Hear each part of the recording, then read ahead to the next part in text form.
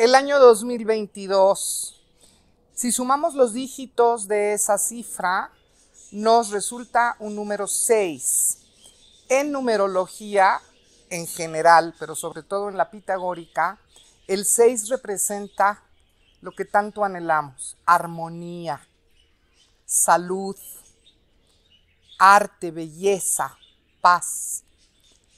El año 2022 se divide en estas dos porciones, un 2 con un 0 y un 2 con otro 2, un 22, que representa un número máximo dentro de la numerología, un número maestro, el 22. Y comenzaré por sugerirle al público que no fraccionen el año.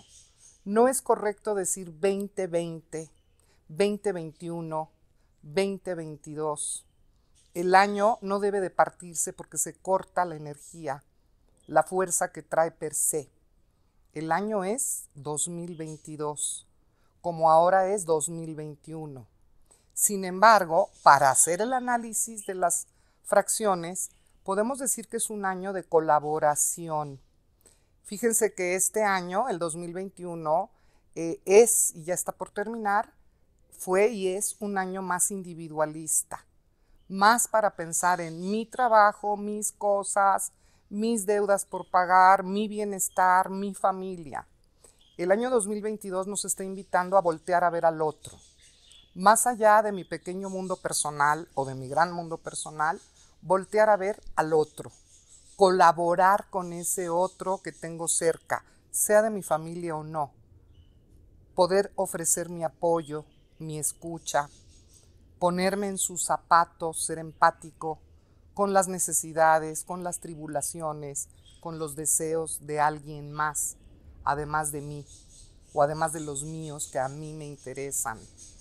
Es un año donde se propicia mucho la estabilidad, esa armonía que como dije tanto anhelamos, esa paz, paz en el hogar, paz en relaciones que estén funcionando bien, se propicia mucho la convivencia, la charla, eh, la armonía en la familia o en las amistades o en los seres queridos que llevan ya por sí solos una buena relación unos con otros. También se favorece que si las relaciones no están vibrando en armonía, puede ser una etapa, el 2022, para cerrar esas relaciones o para transformarlas en algo mejor que lo que están ahora, ¿verdad? A lo mejor cerrar y cambiar de, de giro y de cambiar de forma de vincularnos es más sano que seguir con una relación que no sea armónica. Se favorece mucho el romance, se favorece mucho la ternura, el amor, la expresión emocional, los noviazgos e incluso el compromiso para algo serio, para algo estable. Es un año que apunta a la estabilidad. Es un año que si uno genera pensamientos constructivos, que no sean ya solo pensar en enfermedad o en muerte, sino pensamientos de aquello que deseo, no de aquello que temo, podemos generar salud, porque la salud comienza con la mente, con los pensamientos. Eso pasa a nuestra salud emocional y finalmente se manifiesta en una salud física. Es un año que apunta a la salud siempre y cuando nuestra actitud sea de generar pensamientos y actitudes estables, saludables y armónicas. ¿Qué más tenemos? Tenemos que es un año, este 22 que les dije, la partícula final, 22, para pensar en el bien común. Lo que yo quiero para mí, también me gustaría que los demás lo pudieran generar o lo pudieran lograr. En la medida en que yo puedo ayudarme a mí para generar yo mi bienestar, ofrecerme a apoyar a esos otros que están alrededor, ese prójimo que a veces ni siquiera volteamos a ver, para buscar y propiciar el bien común. Es un año donde la violencia, la hiperactividad se desaceleran. Hay un periodo de más calma, un periodo de más reflexión, un periodo de más tranquilidad. ¿Es una etapa para esforzarse? Sí, en las responsabilidades que tengamos, ya sea en la casa, en el trabajo, en aquel proyecto que estemos realizando. Se nos pide mucha responsabilidad, mucha, mucho enfoque en lo que queremos lograr y ser, insisto, muy responsables, muy constantes, porque es un año que implica estar al pendiente de aquello que me interesa, pero no ya en un sentido de arrebato, de impulso, de miedo, sino estoy al pendiente y me enfoco en aquello que quiero que permanezca en mi vida o colaborando con alguien más, escuchándolo, apoyándolo y agregando lo que significa el 22, pensando en el bien común, en este ganar, ganar, no nada más en llevar agua a mi molino.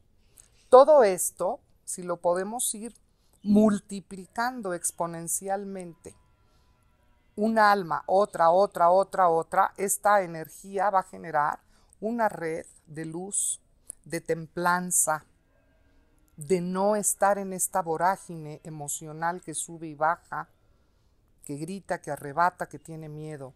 Vamos a ir generando una red de luz que nos lleve a estar, insisto, desacelerados, enfocados, buscando esa anhelada armonía.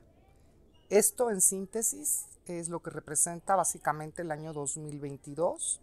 Puede haber eh, desgaste, puede haber eh, sentirnos desgastados por estar muy aprensivos a que aquello que me interesa o mis objetivos de vida o mi familia me demanden mucha atención, mucha energía y yo quiera hacer todo perfecto. Puede, puede generarse este perfeccionismo que nos quite esa armonía. Tratemos de hacer las cosas en la forma en que yo puedo, en la mejor actitud que yo pueda mostrar y disfrutar el resultado. Vivamos en el momento de disfrute, vivamos en ese momento de enfoque, que es lo verdaderamente importante. Como dice ese dicho, a veces nos desgastamos mucho por lo urgente y olvidamos lo importante. El año 2022 nos invita a fijarnos, a enfocar qué es importante en mi vida, qué es importante para mi paz interior, para mi salud integral y enfocarme en ello, aunque deje cosas urgentes, aunque falle en cosas no tan relevantes, no caer en un exagerado perfeccionismo para evitar dejar ir esa armonía que nos ofrece el año. Muchas gracias, espero que estos conceptos puedan ser de utilidad para todos ustedes.